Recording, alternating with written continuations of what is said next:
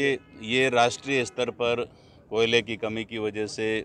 दिक्कत आ रही है, लेकिन राजस्थान में मैं समझता हूँ कि माननीय मुख्यमंत्री महोदय लगातार खुद इसकी मॉनिटरिंग कर रहे हैं और अभी तक इतना ज़्यादा असर कोयले की कमी का दूसरे राज्यों के मुकाबले हमारे राज्य में नहीं पड़ा है और हमारी सरकार पूरी तरह से प्रयासरत है कि किसानों को भी हम जितनी बिजली दे सकते हैं, ज़्यादा से ज़्यादा दें और घरेलू उपभोक्ताओं को भी पर्याप्त मात्रा में बिजली दे सकें। उसके लिए कोयले की कमी जो कारण है, उसका समाधान करने का लिए भी मुख्यमंत्री जी लगातार उसकी मॉनिटरिंग कर रहे हैं और प्रयास ये रहेगा कि किसानों को किसी प्रकार की दिक्कत नहीं हो।